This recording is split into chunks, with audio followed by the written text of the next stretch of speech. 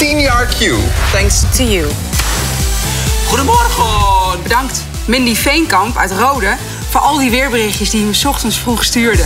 Jorn van der Veen, wat een verrassing dat jij 's ochtends om 7 uur al voor de deur stond met een lekker bakje koffie. Hey, bedankt dat je elke dag naar Q luistert. Bedankt dat je nummers als Kuikentje Piep vergeten bent en niet meer aanvraagt.